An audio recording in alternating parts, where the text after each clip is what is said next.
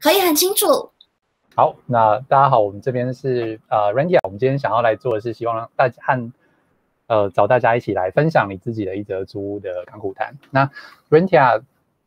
呃，是一个就是以是一个在讨论居住议题的社群。我们希望有就是居住的人，不管你是承租的人，还是你是啊有自己房子的人，就是可以来分享一下自己呃，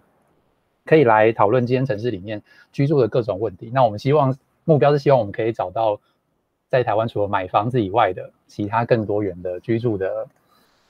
选择，对，那我们今年在做的一个计划是，因为我们在谈的是其实更多元的居住选择嘛，那所以呃，我们今年想要做的其实是在租房子这一块，我们希望它不只是租，我们通常租房子是去租到一个好房子，找一个好房子来租，但我们这边其实想要做的事情是，我们能不能租一个房子之后，租下一个房子之后来把它变好，对，这是我们今年想要做的事情，所以我们就。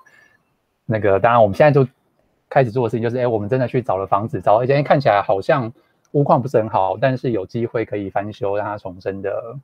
房子。然后呢，也目前也有顺利的和房东讨论完合约，就里面包含了所有，比如说装修内容、房租的折扣，还有这些，比如说提前解约的时候的一些保障的机制等等，就全部都已经呃谈好签完了。那现在就是正在设定风格啊、摆设啊，开始找工班来。进场施工，对，那当然就是这边里面有非常多的雷哦，就是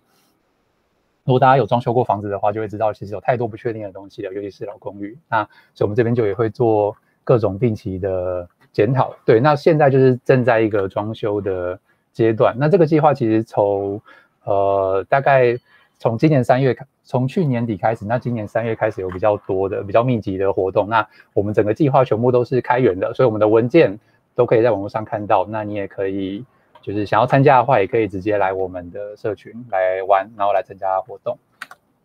对，那其实我们做了这么多事情之后，其实这一次想问，想回过头来再问一个问题是：诶，如果今天有权决定的话，你想要让你的房子可以租成什么样子？就是你想要怎么样租，或者是你想要租到什么样的房子呢？那这个东西，我们是我们平常在租房子的过程里面比较少。练习到的，所以我们今天想要来重新整理一下，看大家的需求是什么，然后看我们现在想做的事情有没有需要调整的部分。对，所以就是今天我们想要做的事情，是我们想要征求各种你有租过房子的人，或者你想要租房子，或是你现在住的房子你有想要调整它的空间或是维修的这些规划的人。对，那我们呢有开了一个 Mirror 的看板，可以请大家可以直接，不管我们有没有在，都可以，你都可以直接上去贴，呃，留一张你想要分享的经验给我们。那我们今天呢也会有两场的呃实体的讨论，呃线上的讨论，就是十一点半和两点的时候，那这个时候我们就会和大家一起来整理这个 Mirror 的看板。好，以上感谢大家，欢迎大家来找我们玩 randia 谢谢。